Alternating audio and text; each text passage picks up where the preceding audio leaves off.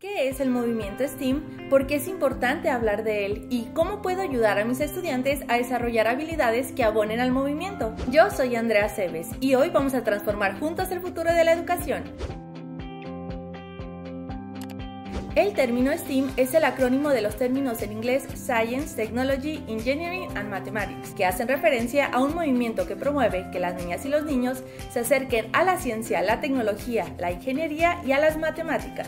Los avances en las disciplinas STEAM han traído progreso en muchos aspectos de la vida, tales como salud, agricultura, infraestructura y energía renovables. Pero, ¿cómo desarrollar en mis estudiantes habilidades que abonen a estas disciplinas? Una gran manera de incluirla en el aula es por medio del trabajo en equipo, fomentando de esta manera la colaboración y la resolución de problemas en colectividad.